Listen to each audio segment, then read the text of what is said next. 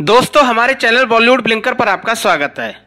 कटरीना कैफ विकी कौशल के बीच क्लोजनेस दिनों दिन बढ़ती जा रही है और विकी कौशल के बयान इस बात को कंफर्म कर रहे हैं कि इनके बीच प्यार की खिचड़ी पक रही है। कटरीना कैफ भी अब किसी लव ट्रायंगल में उलझना नहीं चाहती, इसीलिए वो विकी के आंसर को क्रॉस नहीं कर रही। इस वीडियो में हम आपको विकी कौशल के कटरीना कैफ पर वो चार बयान बताएँगे, जो इशारा कर रहे हैं कि बॉलीवुड के ये दोनों स्टार अब र्यूमर कपल नहीं रही, बल्कि मोहब्बत की नई किताब लिख रहे हैं। विकी कौशल ने कटरीना कैफ पर सबसे पहले चुप्पी तोड़ी तो फैंस श्योर हो गए कि अफेयर की खबर अफवाह नहीं, बल्कि एकदम सच है। विकी ने एक इंटरव्यू में सबसे पहले कहा था, मुझे लगता है कि प्यार सबसे अच्छा एहसास है। कोई खुद को प्यार का अनुभव करते हुए सबसे अच्छे दौर में पाता है। वो जो कुछ भी करता है, जोश और इरादों के साथ करता है। मुझे लगता है कि ये रियल में बेस्ट फीलिंग है। विकी कौशल का आंसर और फिर इस आंसर पर उनका मुस्कुराना बताता है कि छिप छिप कर जो मुलाकातें होती हैं, वो कोई नॉर्मल नहीं है। कॉमन फ्रेंड के घर पर मिलना भी रिलेशनशिप का ही पार्ट है। एक और इंटरव्यू में विकी कौशल से कटरीना कैफ पर सवाल पूछा गया तो वो पॉजिटिव हो गए।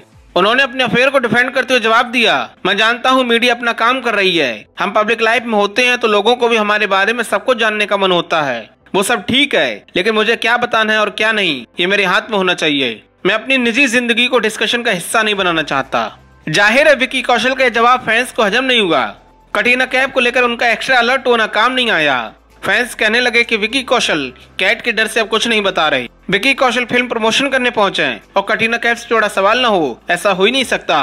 विकी से इंटरव्यू में अफेयर पर घुमाकर सवाल किया गया तो उन्होंने कहा, ये मेरी निजी ज़िंदगी है और इसे मैं गार्ड करना चाहता हूँ। अगर आप इस बारे में बात करते हैं तो इससे बातें फैलती हैं, फिर गलत फहमियाँ फैलती हैं और मैं अपनी लाइफ में ऐसा नहीं चाहता हूँ। मुझे लगता है ये बेहतर होगा कि मैं अपनी पर्सनल लाइफ को लेकर थोड़ा सतर्क रहूँ और मैं इस समय किसी भी चीज़ को लेकर खुलकर बात नहीं करना चाहता हूँ।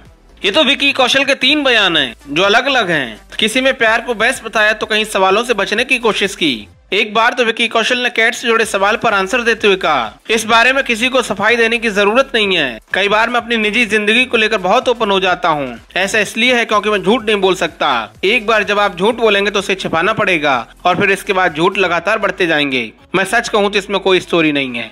विकी कौशल के चार बयान, उनके और कैट के रिलेशनशिप पर बहुत कुछ कह रही है।